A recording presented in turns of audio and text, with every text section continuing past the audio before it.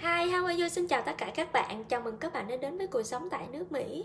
Hôm nay ngoài trời mưa và rất là lạnh làm cho mình cảm giác thèm một cái tô canh khoai mỡ của quê nhà và mình đã đi đến chợ mình mua cái cái loại canh khoai mỡ này nè các bạn à, cái này á à, thì có khi á nó có khoai mỡ màu trắng và có khi nó có khoai mỡ màu tím thì hôm nay mình lucky á mình tìm được cái khoai mỡ màu tím này à, và giá của nó là khoảng 4 đồng một vào tức là mình mua nguyên một cái rổ rồi đó các bạn. Nguyên cái rổ này là khoảng hai mươi mấy đồng đó. Đó. rồi á, và đồng thời á, nấu canh khoai mỡ thì một là chung với thịt bằm còn hai là chung với tôm. Và thế là mình đã mua một cái hộp tôm này cái này là chỉ là đông lạnh thôi. Các bạn mà mua cái hộp tôm này thì à, thì nó có nó có hai loại. Một cái loại là không có đầu một cái loại có đầu. Thì mình mua cái loại có đầu á, thì nó sẽ ngon hơn không có đầu. Mà cái loại có đầu thì nó rẻ tiền hơn cái loại à, không có đầu. Cái loại à, có đầu này là 23 đồng 99 trên một cái hộp này. Còn cái loại mà không có đầu nó là 27 đồng 99 và đồng thời nấu canh khoai mỡ á, thì mình sẽ uh, nêm cùng kèm với ngò ngò uh, cái này là ngò ngò ôm. Nó ngò ôm. Thì uh, với cái tôm á, thì uh, mình sẽ bỏ vào một ít trong canh và mình sẽ kho tàu. Tôm á, thì mình khui cái hộp này ra và nó đông lạnh nó để như thế này là các bạn. Bây giờ á, thì mình không thể lấy cái bao ra được bây giờ mình bỏ trong một cái cái thao và ra cho nó ngập tại vì tôm này á, nó cũng mau tan lắm các bạn. Cho nên là không cần phải là để lâu hay là để xả đá từ sáng đến chiều. Và khi những cái à, thịt à, à, thịt heo hay là thịt gà vậy đó mình phải xả đá à, từ đá sáng đến chiều nhưng cái này mình chỉ xả trong vòng 5 phút thôi là nó tan ra rồi. Chờ tôm xả đá thì mình đi gọt khoai nha các bạn gọt khoai dừa xong là mình xoay qua mình bóc tôm. Các bạn nhìn này hôm nay làm khoai mỡ này nó rất là tím. Mọi khi hả mua thông thường á thì khoai mỡ nó màu trắng á, mình ăn nó sẽ không ngon. Mà mình hôm nay lucky mình mua được cái loại khoai mỡ màu tím này. Ừ, khoai mỡ màu tím này ăn nó có nước bốc cỡ màu rất là đẹp. Mà nó lại mình cảm giác nó làm cho mình ngon hơn nữa khó tìm lắm các bạn. Cái hoa này khó tìm khi ở, ở trong nước biển này. Và đồng thời giá của nó lại mắc hơn cái khoai mẫu màu trắng các bạn các bạn nhìn này đây là tất cả những cái vỏ cần phải bỏ đi các bạn thật ra mua mua về à, mua khoai này gọt ra thì nó cũng không còn bao nhiêu hết vỏ thì nó chiếm phân nửa rồi tôm nó đã tan đá rồi các bạn. Bây giờ mình rửa sạch và mình bóc vỏ nha các bạn. Nếu mà mình muốn kho tàu thì mình nên ờ, để cái tôm mà loại có đầu của các bạn, thì nó nó nó có gạch cho mình nè. Bên trong đây nó còn gạch nè, để khi mình kho cái màu gạch nó ra rất là đẹp. Bây giờ mình lột tôm nha các bạn.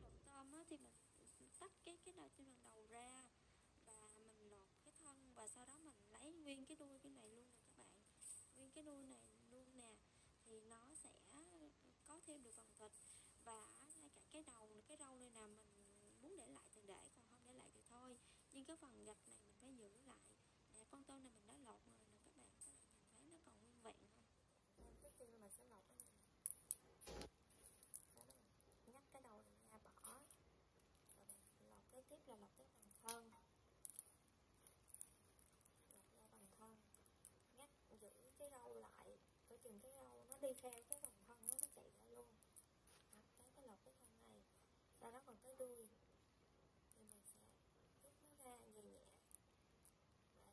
Nó ra bây giờ nó còn nguyên cái đuôi nữa các bạn. Ở trên đây nó còn cái rau nè cái rau nấu nấu nấu canh nước rất là ngọt đó các bạn. Và đồng thời mình có thể dùng kho được luôn. À, ngay cái cái câu là à, rau tôm mà nấu với ruột bầu trồng chan vợ hấp và gật đầu khen ngon đấy cái rau này nó rất là ngọt xong hai cái thố tôm này rồi các bạn. Cái cái cái cái này thì mình sẽ là kho, còn cái này thì mình sẽ nấu canh. Nhưng mà hai cái mình cũng đều nêm nêm trước hết. Đây mình bỏ ờ, một muỗng bột ngọt nè. Một muỗng bột ngọt cho cái ờ, cái cái cái chén để nêm canh. Và ở đây là mình kho mà mình nêm trước luôn. Đây. Đó. Cái kia thì à, kho thì mình dùng hai muỗng nhé tại vì kho mình cần cái độ đậm đà đó. Còn ờ, nem nêm canh đó thì mình dùng một muỗng thôi. Và muối. Và muối thì cái này thì mình dùng ờ, phân nửa muỗng thôi. Tại vì mình sẽ nêm nước mắm mà. Còn cái này thì cũng phân nửa muỗng. Và cái nồi kho thì mình sẽ nêm nước mắm vào mình sẽ ốp trước cái này là cách cách cách của mình nha các bạn. Còn nếu như là có thể là mình có thể là mình sấy tỏi lên và mình bỏ tôm vô sau cũng được. Nhưng cái này mình nêm trước và sau đó mình sẽ sấy tỏi bỏ vô sao và đồng thời mình bỏ tiêu vô luôn nha các bạn. Bỏ tiêu vào hai khắp luôn và sau đó mình sẽ trộn đều lên. Mình ướp ướp tôm ờ, trong vài phút thì mình sẽ bắt lên lò. Đấy, ở đây mình làm hơi nhiều cho nên nó tràn mà không sao xíu nữa sẽ teo lại chút xíu là được rồi. Đó mình trộn nó đều lên. Và à, cái chén canh này mình cũng trộn nó đều lên là được nha các bạn. Mình đâm ra mình bọc. Cái này bạn cho nó chảy ra và mình nấu. Mình ướp tôm mình để một hồi nha các bạn. Bây giờ mình bắt nước sôi. Và mình nấu nồi canh trước nha các bạn. Nước nó đã sôi rồi thì mình bỏ hết khoai vào. Lúc đó mình bắt cái một cái chảo riêng mình mâm tỏi và mình sấy tỏi nè các bạn. Đó mình sấy tỏi sẵn tiện mình để dành để dành qua một cái khắp riêng luôn. Khi nào mình dùng tỏi sấy rồi thì mình thì mình lấy ra mình dùng. Còn một ít thì mình bỏ trong tôm. Như vậy thì nó sẽ rất là thơm. 5 phút canh thì bây giờ mình nêm vô một muỗng bột ngọt, hai muỗng bột nêm và một muỗng muối. Mình nấu trộn sẵn trong đây các bạn. Và bỏ vào. Ở đây nó có bọt thì sẽ tại khoai nó có độ nhớ đó các bạn. À, thì nó bọt nó nó nổi lên. Nếu như mà mình muốn vớt bọt cũng được hoặc là không cũng được. Ở đây thì mình vớt bọt để cho nó có vẻ sạch hơn. Trong lúc chờ cái nồi canh chín thì mình nên mình đi rửa rau đó các bạn. Đi rửa người ôm này ra trước. Rửa sạch xong sau đó mình cắt ra từng khoanh như thế này các bạn và để nó qua một bên. Lúc này nồi canh cũng đã gần chín rồi bắt đầu mình bỏ tôm bạn. Mình bỏ tôm sao á tại vì tôm nó rất là nhanh chín. Và nếu như mình nấu chung với khoai á, thì làm cho khoai nó lâu chín thì làm cho cái tôm nó bị sượng đi nó bị khô đi.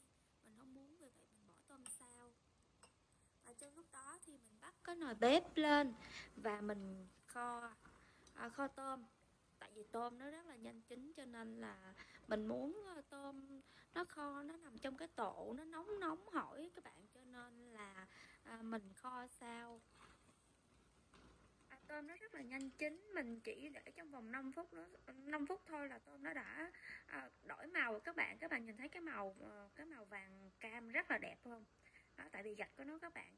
Cái nó nó gần chín rồi thì mình bỏ đường lên sau nha các bạn. Như thế này. Thì khi mà mình gần khi mà thức ăn gần chín thì mình bỏ đường vô sau thì tạo cái hậu nó sẽ ngọt. Sẽ rất là ngọt ngọt thanh luôn á. Chứ không phải là ngọt gắt tại vì nếu mà ngọt gắt để đường trước thì nó sẽ thấm vào trong thịt nhiều quá thì hạn chế ăn đường nhiều bị thiếu đường và giờ mình bỏ vài trái ớt vào cho nó có cái uh, cây cây hăng hăng. Lúc này mình sẽ bỏ tỏi vào nha các bạn và bỏ tiêu vào. Và cái nồi canh này cũng đã chín rồi các bạn. Bây giờ mình bỏ ngò ngò ôm vào và mình cắt tiêu vào nha các bạn và giờ là cái nồi tôm kho tàu của mình cũng đã hoàn thành rồi. Ừ. Mình bỏ tiêu lên trên cho nó có ờ, có, có có cái mùi tiêu thơm ngon. Cái màu vàng cam rất là đẹp luôn các bạn. Ừ. Và cái nồi canh khoai mỡ của mình cũng đã hoàn thành luôn. Ừ. Nó có một cái màu tím tự nhiên rất là đẹp khoai thì nằm ở dưới như thế này nè các bạn. Một con tôm trắng chảo. Ừ, nó không bị khô. Ờ, tôm bỏ vào sao thì nó vẫn được ờ, cái cái cái cái hương vị tôm, vẫn còn cái hương vị tôm và nó ờ, nó nó vẫn mềm. Mình nấu lâu quá thì mình sợ nó cứng. Các bạn nhìn này, cái màu rất là đẹp luôn phải không các bạn.